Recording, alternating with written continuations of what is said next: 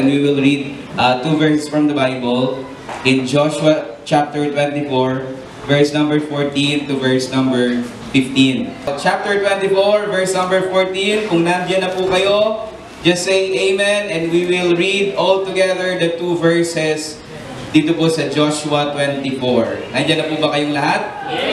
Amen. Basahin po natin. Ready? Verse 14, ready, read. Now therefore fear the Lord and serve Him in sincerity and in truth, and put away the gods which your fathers served on the other side of the flood, and in Egypt, and serve ye the Lord. And if it seem evil unto you to serve the Lord, choose you this day whom you will serve, whether the gods which your fathers served that were on the other side of the flood, or the gods of the Amorites in whose land ye dwell. But as for me and my house, we will serve the Lord.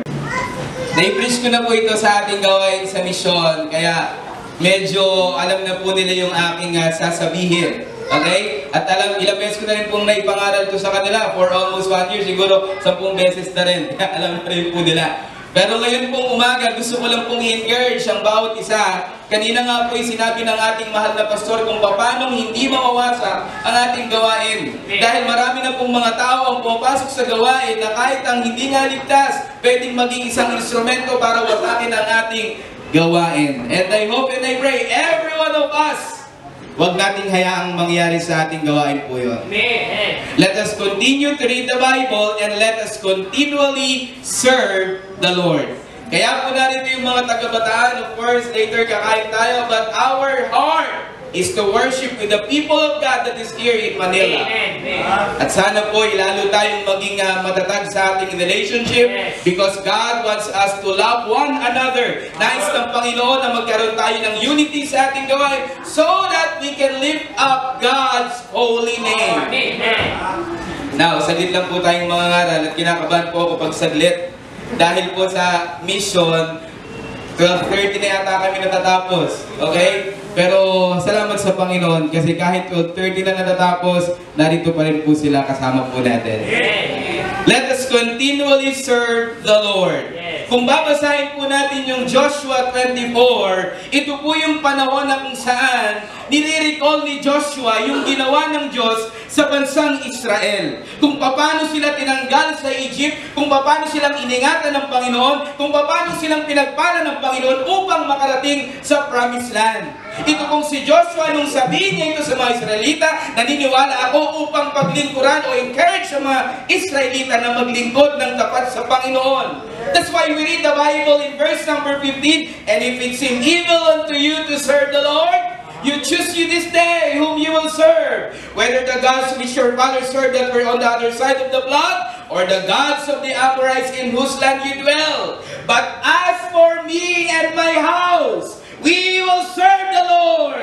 Yan ang nais sabihin ni Joshua nung panahon na gusto niyang i-encourage ang mga Israelita. Magpatuloy tayong maglingkod sa Panginoon. My family will serve God. Mga kapatid, let us continually serve the Lord. Number one, what's the reason, Pastor? Why should we continually serve the Lord? Bakit ba kailangan nating paglingkuran ng patuloy ang Panginoon? Because number one, there is a great cause. Amen. There is a great cause. What that, ano yung great cause, Pastor, na sinasabi ni Joshua? Let's go back. Verse number 3. Sige po, bukatin niyo yung Bible niyo. Chapter 24, verse number 3. And I took your father Abraham from the other side of the flood, and led him throughout all the land of Canaan, and multiplied his seed, and gave him Isaac. Pastor, ano po yung great cause? Number one, the miracles.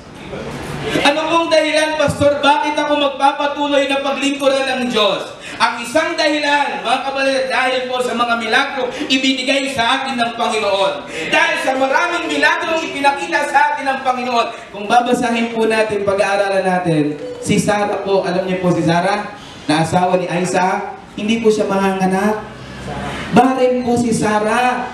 Nangako ang Diyos kay Sarah at kay Abraham na, na si Sarah ay sa patagdang panahon mabubuntis at manganganak. Ano po yung miracle doon binanggit si Abraham? Sa buhay ni Abraham, nagkaroon ng milagro ang Diyos sa kanya dahil ang kanyang asawa na dapat hindi manganganak, na ang kanyang asawa na matanda na, at siya din ay matanda na, nagkaroon pa rin ng anak. Are you with me? In your personal life, marami pong mga milagro ang Diyos sa atin. Napakarami ng milagro ng Diyos sa aking buhay. Hindi ko alam, natatawagin ako ng Panginoon balang araw. It's the miracle of God na kung saan tatayo ako sa pulpitong ito na maraming mga tao nga magagaling na maraming mga tao mas pinag maraming pinag ah, mataas ang pinag-aralan. Pero bakit ang Diyos tumawag ng isang mangangaral? It's a miracle. Milagro sa akin yun, mga kapatid. Kung iisipin ko lang muli nga, sasabihin ko nga po sa inyo, pag kami meron kaming, I encourage everyone of us, lalo sa mga young people, nag-aaral, mag-aral kayo ng mabuti. Sa mga nag-aaral sa high school, elementary, college, you study well. Nung panahon na nag-aaral ako mga kapatid, kalokohan lang din iniisip ko at kalokohan ang ginagawa ko. Pag kami mag magkakaroon ng, ah, ng ah, reporting, automatic yan, a-absenan ko mga kapatid. Kasi kahit tumayo ako sa ulan, hindi nga ako tumayo sa ulan, nahihiya po ako mga kapatid. Takot na takot ako nung sasabihin ko. Pero sa araw, tinawag ako ng Panginoon para makapag-share ng kanyang salita. It's a miracle from God. It's a miracle. And, and Joshua is telling the people, mga kapatid, may milagro ang Panginoon. The great cause, one of the great cause is, was His miracle to them. At kung babasahin mo nga ang Bible from Exodus, makikita mo napakaraming milagro ang ginawa ng Panginoon sa mga Israelita. Letter B, there's a great cause. Letter B, because of His mercies. Mercies. Open your Bible, verse number 4. Pastor, bakit ako magpapatuloy maglingkod sa Panginoon? Kagaya ng sinabi ni Pastor Jeremiah kanina, dahil sa mercy ng Panginoon. And I gave unto Isaac, Jacob, and Esau, and I gave unto Esau Mount Seir to possess it, but Jacob and his children went down in Egypt. I sent Moses also and Aaron, and he plagued Egypt, according to that which I did among them, and afterward I brought you out. I brought your, your fathers out of Egypt, and you came unto the sea, and the Egyptians pursued after your fathers with chariots and horses unto the Red Sea. Verse number 12. Talon po tayo sa verse number 11. And you went over Jordan and came unto Jericho, and the men of Jericho fought against you. The Amorites, and the Perizzites, and the Canaanites, and the Hittites, and the Girgashites, and the Hivites, and the Jebusites, and I delivered them into your hand. And I sent the hornet before you, which drave them out from before you. Be even the two kings of the Amorites, but not with thy sword, nor with thy bow. You know why we should serve the Lord continually? Because of His mercies. Ito po yung panahon na sinasabi ni Joshua na kayo kung bakit kayo hanggang ngayon ay buhay pa dahil hindi magagaling kayo, dahil hindi matatapat kayo, kundi dahil sa habag lamang ng Panginoon. Are you with me? Dahil sa habag ng Panginoon, kaya tayo nakapagpapatuloy. Dahil sa grasya ng Panginoon, kaya tayo naligtas. Dahil sa habag ng Panginoon, kaya kapag nagdakapaglilingkod sa Diyos. Kaya sinasabi ni Joshua sa mga tao, dahil sa habag ng Panginoon kung bakit kayo maglilingkod, because of the mercies of God. Kung maunawaan mo lang hambag ng Diyos sa'yo, ngayon buhay ka pa eh. Ano sabi ng Bible? Open your Bible, Lamentations chapter number 3. Lamentations chapter number 3, verse number 21 or 22 to 23. Lamentations. Let's read this verse. Are you there? Basahin po natin ang sabay-sabay yung Lamentations chapter number 3. Okay. Kung nandyan na po kayo, ready, read.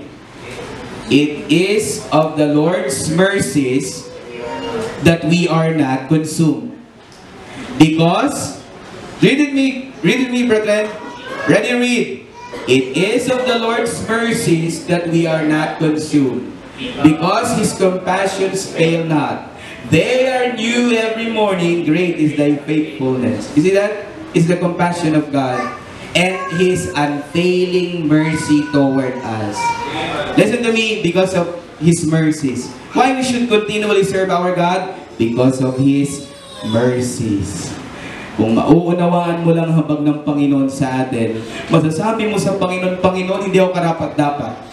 Maraming mga pagkakataon na kung saan pwedeng napahamak ka na. Maraming mga pagkakataon o buhay mo pwedeng ikaw ay wala na ngayon. Marami nang nagkasakit. Marami nang namatay. Marami nang nasagasaan. Salamat sa Panginoon. Dahil sa kanyang habag, narito ka pa rin upang maglingkod sa Diyos. Kailan lang na, na, na, na, na natanggal yung tornilyo ng tricycle po namin mga kapatid sa likod. Ay, ah, galing ako sa bahay going to our mission house. Hindi ko alam yung tornilyo na nagkakabit doon sa sidecar sa tricycle, natanggal mga kapatid. Eh yung yung yung yung yung, yung mga daanan pa naman doon pababa pataas. Naramdaman ko na palis pa lang ako pero hindi ko na chinek. Pagdating ko na lang sa mission house, yung tricycle, yung tornilyo nito, tanggal na. Eh, binalitaan ako last time sa Rusi. Sabi na, Pastor, alam niyo ba yung, ah, ano, yung isa naming kliyente dito na na aksidente? Naghiwala yung, eh, yung, yung, yung, yung sidecar na tricycle tsaka mismong motor. The other day, namatay. Kaya ipacheck niyo po yung tricycle ninyo. Aktiwala naman ako. Sabi ko, "Di, okay lang yan. Talagang ang Panginoon, inga. Mga kapatid, salamat sa Panginoon. May habag pa rin ang Diyos. Hindi kami na-disgrasya. Hindi ako na-disgrasya. Buti na lang hindi ko sinama si Ma'am Yani. Kasi kung sinama ko si Ma'am Yani, lagi mga ah, anak, sa sidecar sila sasakay, pwedeng mas malakas ang pwersa pag nag-break ako, tanggal yun mga kapatid. There was one time, tinuturuan ako ni Brother Romeo na kung saan mag- mag-tricycle, bumaba, hindi, hi- ah, hindi ko binuksan yung makina ng tricycle pababa. Hindi ko alam, mas malakas pala yung pwersa noon mga kapatid. Munti kang mahulog sa bangin. There was a time na nag-drive ako ng tricycle, hindi ko nang malayan, meron palang mag-overtake sa amin. Nag-overtake din ako without signal. Munti ka na kami mabangga. At maraming mga pagkakataon sa buhay ko na pwede nang kumitil ng aking buhay. Nag-backslide ako, pwede wala na ako sa gawain ng Panginoon. But because of God's mercies, nandito pa rin tayo. Are you with me? Because of God's mercies. Letter C, ibilisan lang po natin because of letter C. Hindi natin may kakaila. Ayoko sanang i- isali sa preaching, sa great cause, yung material blessing. Are you with me? Material blessing. And I believe these people of God, God is blessing these people of God, materially speaking. Are you with me? And even me. Paano magkakaroon lang? Dati nung pumunta kami sa ano, nagsisimula pa na tayo sa mission house, talagang yung pinuntahan namin na lugar, salamat pinagamit ni Kagawad Wilma ang kanyang bahay. Pero dahil matagal nang wala nakatira doon, para bang ah, abandoned house na rin siya. Ang mga nakatira, mga insekto na mga kapatid. Okay, pagpunta namin doon, wala talaga kami. Nung sinend out kami, wala kami, mga kapatid. Of course, the, the, the church is helping us.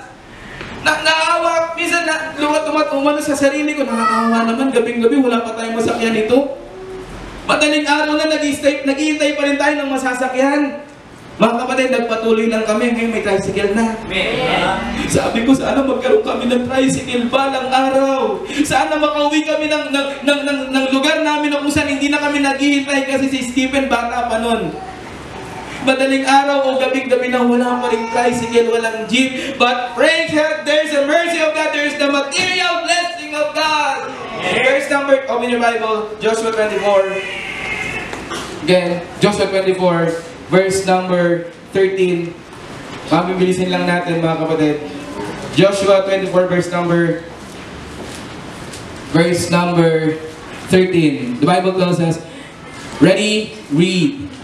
And I have given you a land for which you did not labor, and cities which you built not, and you dwell in them of the vineyards and the olive yards which you planted not do ye eat. Are you with me? Sabi ng Diyos kay Joshua, binigyan ko kayo ng lupain na kung saan hindi nyo pinagtrabahuhan. Binigyan ko kayo ng mga blessing na kung saan hindi nyo pinaghirapan. Anong tawag dyan? Material blessing yan. Again, hindi tayo maglilingkod sa Panginoon dahil sa material na matatanggap natin. Hindi yun ang ating dahilan. Pero hindi natin maitatago pag naglingkod ka sa Panginoon, God is providing us. Nagpo-provide ang Panginoon sa atin, mga kapatid. May mga pagkakataon na parang walang-wala dumarating ang pagpapala ng Panginoon na hindi ka naghirap. Are you with me? Maraming kinukwenta ng ating pastor na kung saan hindi galing sa church. Sa loob ng church, ang ating mga nakukuha blessing outside the church. Hindi mo pinaghirapan. Pero dumating. Then what's the reason? What's the reason kung bakit ako maglilingkod sa Panginoon. There is a great cause. Number one, again, mercy. Uh, uh, what's the number, letter A? Miracle of God.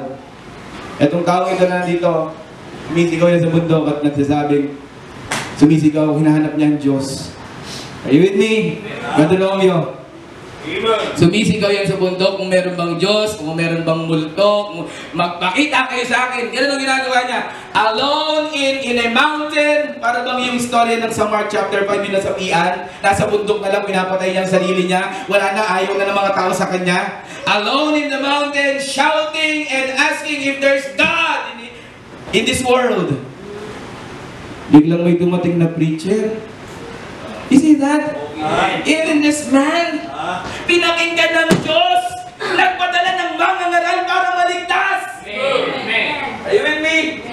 Ba't di ako maglilingkod sa Panginoon? May naliligtas. May material blessing na binibigay ang Diyos sa atin. Hindi kailanman naging liko ang Diyos sa kanyang mga anak na naglilingkod ng matapat. And Joshua is encouraging the people, you serve God continually because the land that you have now is from God.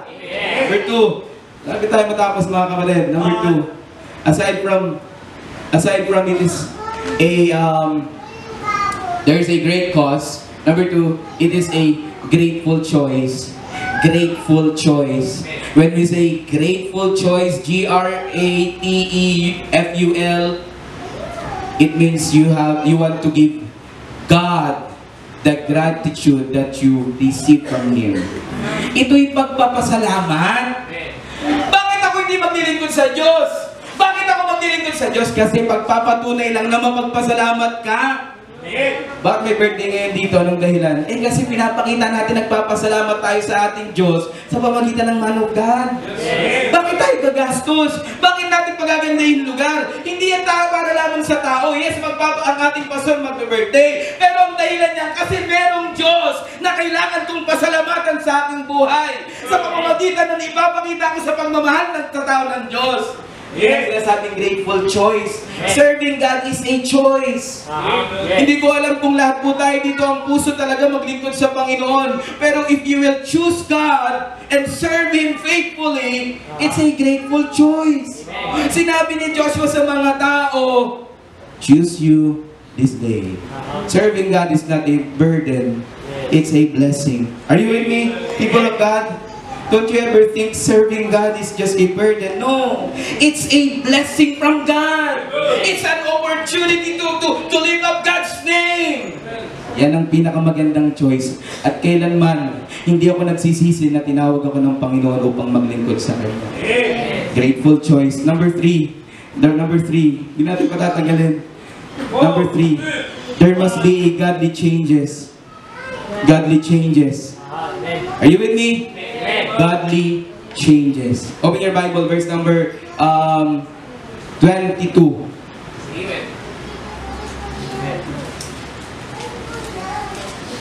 Verse number 22. Joshua 24, verse number 22. Ready, read. And Joshua said unto the people, Ye are witnesses against yourselves that you have chosen you the Lord to serve him. And they said, We are witnesses. Verse number 23. Now therefore, put away, said he, the strange gods which are among you, and incline your heart unto the Lord God of Israel. Sabi niya, tanggalin nyo na yung mga Diyos-Diyosan. Are you with me? Binati na po kanina yan, hindi ko na para batiin. Tanggalin na natin yung mga bagay na nagpapaadik sa atin. Tinatanggal nito yung oras natin. Yung mga games na kung saan hindi naman talaga yan, hindi dapat yan ang maging buhay mo. Maniwala kayo sa akin, PlayStation 3, ha? Adik din po ako mga kapatid. Nakabili ko ng PlayStation 3 na kung saan ang sinasahod ko lang naman dati ay maliit. Pero nagawan ko ng paraan. Nakabili ako ng TV na hanggang ngayon nagagamit namin almost 20 plus thousand. Makabili lang ako ng PlayStation 3. Adik na kasi, di ba? Di ba pag adik pa napipigilan? Napipigilan mo ba yung adik na kahit napapahiya na siya, na kahit ang itsura niya kakaiba na, na kahit maraming mga taong galit na sa kanya, hindi mo mapipigilan ang adik? Kaya may mga tao dito na talagang adik sa ministry. Kasi hindi mo mapigilan eh. Yun ang pinakamagandang adik sa lahat. Sabi nga ni Bishop Tevega, marami din, hindi lang adik. Yun, user lang. Are you with me? There must be godly changes. Baguhin mo na yung pananamit. Baguhin mo na yung pag-iisip natin patungkol sa ministry na kung saan ang tingin mo ang baba. Godly changes. Sabi ni Joshua, then put away all your gods. Wala tayong mapaglilingkuran ng sabay. It's either we will, we will serve our God or ser- serve the enemy, which is the devil. And the last but not the least, there should be a genuine commitment. Diba? Alam na nila yan eh. Genuine commitment.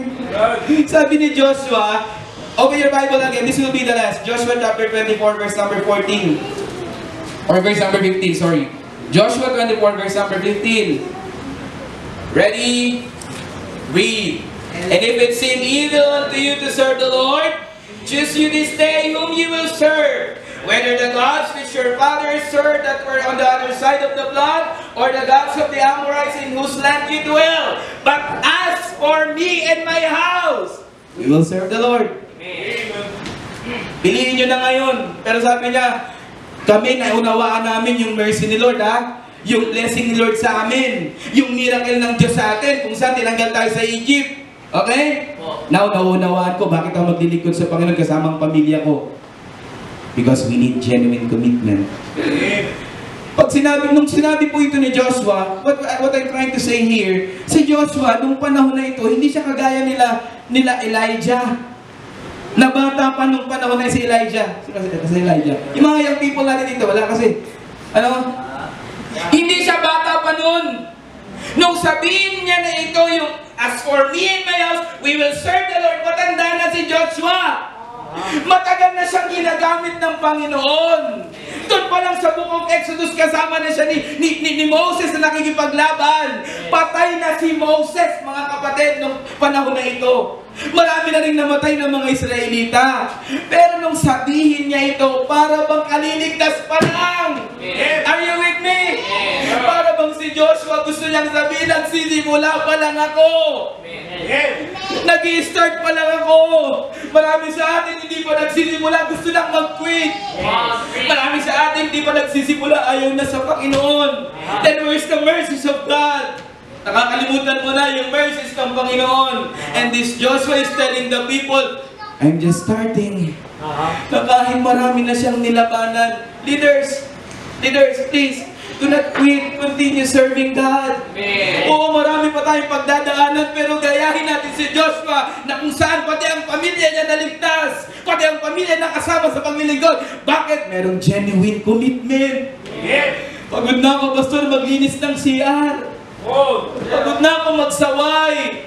Pagod na ako. Yan ang mga bagay na kung saan mapagod ka man may dahilan at merong maganting bala sa langit kung gagawin mo ng matapat. Yan ang bagay na kung saan tinitingnan ng Diyos na mataas. Yan ang bagay na tinitingnan ng mga taong mga hindi ligtas na mababa. You are a Christian that serve God faithfully. Karoon ka ng genuine commitment. Kamustahin mo na yung vows. Kamustahin mo na yung mission vow mo. Ako ba nagpo-fulfill rin ng mission vow? Eh tayo pa ng mga Pilipino, nakasanayan po natin sa umpisa lang magaling. Pero sa bandang huli, wala na. Mga kapatid, genuine commitment. Joshua is telling the people, have a genuine commitment. Yung napagdaanan namin dati hanggang ngayon, matamis pa rin na alaala upang maglingkod sa Panginoon. If you will read the book of Joshua in chapter number 24, patay na po si Joshua. In chapter 24, doon na po siya namatay. Sabi ng Joshua. Listen to me. Bakit kailangan kong pagpatuloy na paglingkuran ng Diyos? Kasi may commitment ako sa Diyos. Ang nagpapatamis sa paglilingkod, yung ikaw at ang Diyos, may commitment kayo. Yung nga lagi sinasabi ng ating mga ng at mga ilang mga ngaral, instead na magkaroon ng commitment, committed. Instead na committed sa gawain, committed. Are you with me? Sana po mga kapatid, as we serve God faithfully, huwag kayong manghinayang, magpatuloy ka. One life, isang buhay lang ang meron tayo. At kung titingnan niyo po, listen to me, dito po, kung titingnan niyo po itong mga to, sila po yung bunga ng inyong pagpapagaya. Sila po yung bunga na kung saan nagsishare kayo ng mga testimony, blessing. Bakit ako magbibigay ng mission vow? Bakit ako magtatapot sa tithes and offerings? Bakit ako maglilingkod sa Diyos? Sila po ang naging bunga ninyo. Dahil sa pagpapagal po ninyo, merong genuine commitment. Why we should continually, again, serve the Lord? Number one, let us continually serve the Lord. Number one, because there is a great cause. Number two, it is a grateful choice. Number three, there must be godly changes. Hindi pa pwedeng maglingkod ka ng walang pagbabago. God can change your life. Ano? And the last but not the least, there must be a genuine commitment. Let us all stand up and we will pray.